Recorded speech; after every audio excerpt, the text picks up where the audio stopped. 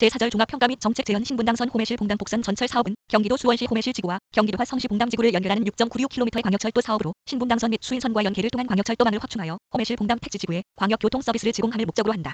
본 사업은 제2차 국가철도망 구축계획 국토해양부 2011의 추가 검토 대상 사업으로 언급되었으며 제3차 국가철도망 구축계획 2016에서 2025 국토교통부 2016의 광역철도 신규 추진 사업으로 반영되었다. 본 사업 노선은 신분당선 광교 호매실 구간과 접속하여 기운영 중인 신분당선과 연계되는 노선이다. 또한 본 사업은 6.96km의 비교적 짧은 연장의 철도 사업이며 경기 남부권과 서울권 강남, 용산의 접근성 향상을 주요 목적으로 추진하는 광역철도 건설 사업이다. 이러한 측면에서 광역철도인 기존 신분당선 노선과 연계 운영하는 것이 주무부처의 계획 방향이므로 신분당선과의 연계 없이 개별 노선으로 별도 운영하는 것은 조사에 실효성이 없을 것으로 판단된다. 따라서 본 조사에서는 선행 구간인 신분당선 광교 호매실 구간이 어떠한 추진 방식 재정 민자로든 추진되는 것을 가정하여 분석을 수행하였다. 이러한 점을 감안하여 본조사에서는 선행구간 추진 방식에 따라 시나리오를 설정하였으며 시나리오 1 선행구간 재정 사업 추진 시 시나리오 2 선행구간 민자 사업 추진 시 사업의 타당성 여부를 검토하기 위해 비용 추정, 교통 수요 추정, 편익 산정을 통한 경제성 분석과 정책성 분석 및 지역 균형 발전 분석을 수행하고 이를 바탕으로 최적 대안을 선정하여 AHP 종합 평가를 수행하였다. 본 사업의 비용 추정, 도로 및 철도 부문 비용 추정 지침 변경 guideline 한국개발연구원 2015 과 신분당선 및 신안산선 사례의 실적 단가를 활용하였으며 운영비의 경우 철도 부문 사업의 예비 타당성 조사 운영비 추정 개정 guideline 한국개발연구원 2015에 제시된 방법을 적용하였다. 비용 추정 결과 총 사업비는 53만 6,631백만 원으로 산정되었으며 운영비는 연간 1만 6,588백만 원이 소요되는 것으로 추정되었다. 장래 교통 수요 추정은 2016년 한국교통연구원에서 배포한 수도권 교통 분석 기초 자료의 네트워크 및 여객 OD 자료를 활용하였으며 화물의 경우 2016년에 배포한 전국 톤급별 자동차 통행량 자료를 세분화하여 활용하였다. 분석 기준 연도는 2014년 344 신분당선 호매실 봉당 복선 전철 예비 타당성 조사 말 개통 연도는 2025년을 전제로 하였으며 최종 목표 연도는 개통 후 40년인 2064년으로 설정하였다.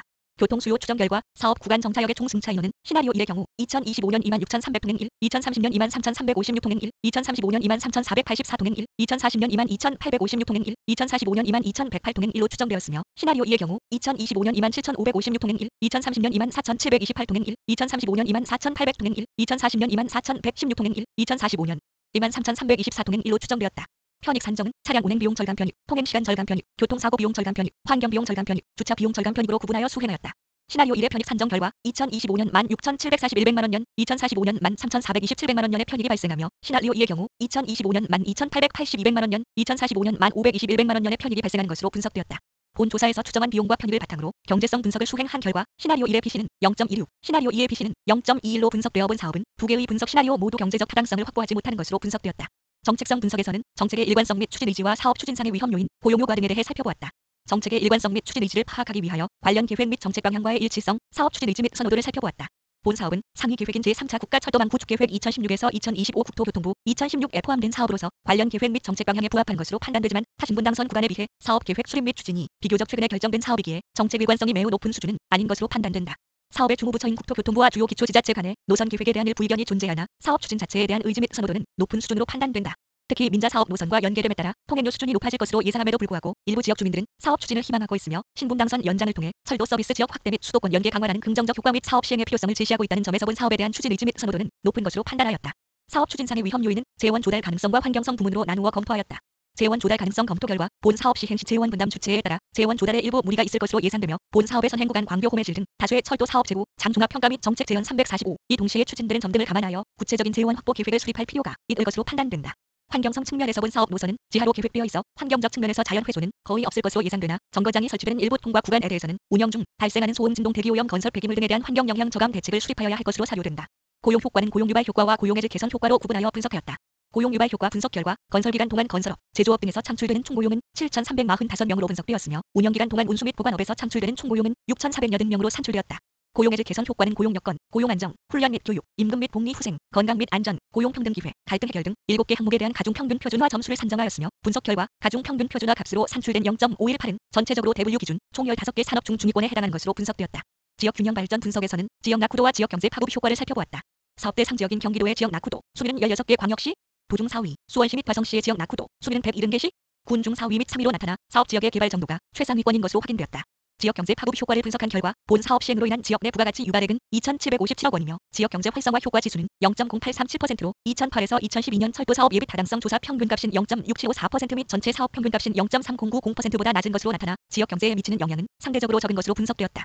사업의 추진 여부를 종합적으로 판단하기 위하여 분석적 계층화법 Analytic Hierarchy Process AHP를 이용하여 분석을 수행하였다. 분석 결과 평가자들은 금회 사업에 대한 미시행 대안을 시행 대안보다 적절한 것으로 판단하였으며 사업 시행 점수가 0.27으로 사업 미시행 점수인 0.71보다 낮게 평가되어 사업의 타당성이 확보되지 않는 것으로 분석되었다. 346 신분당선 호매실 봉담 복선 전철 예비 타당성 조사 구분 사업 기획서 예비 타당성 조사 사업 위치 경기도 수원시 호매실 지구 경기도 화성시 봉담지구 사업 규모 L 6.96km 정거장 2개소. 총 사업비 공사비 45만 2,507 41만 8,504 시설부대 경비 3만 2,545 4만 8,727 보상비 47 892 예비비 4만 8,514만 6,812 차량 구입비만 8,722만 1,696 합계 55만 2,329 53만 6,632 사업 기간 2015-2021년 6년 2019-2024년 6년 사업주체 국토교통부 지원 조달 국비 70% 지 특회계 지방비 30% BC 1.02 0.26 AHP 0.275 표구 마이너스 80분당선 호매실 봉당 복선 전철 예비 타당성 조사 총괄 요약표 주 1 총사업비는 부가가치세 포함임. 2 사업 기획서 및 예비 타당성 조사의 총사업비는 2014년 말 가격 기준. 3 총 사업비 단위는 100만 원이며 소수점 이하는 제시하지 않음. 4 PC는 소수점 둘째 자리 AHP는 소수점 셋째 자리까지 제시 결론적으로 본 사업은 국가의 철도망 구축 계획에 명시되어 수도권 연계 강화 달성을 목표로 하는 점, 지역의 추진 요구가 높은 점 등을 고려하더라도 현재의 여건 하에서는 사업의 타당성을 확보하지 못하는 것으로 분석되었다. 무엇보다 본 사업은 예비 타당성 조사 과정에서 드러난 노선 계획에 대한 지자체 간의 이견을 조정하고 본 사업 의선행 구간인 신분당선 광교 호매실 건설 사업의 추진 여부와 추진 방식에 대한 확, 정 등이 선결되어야 할 과제로 파악되었다.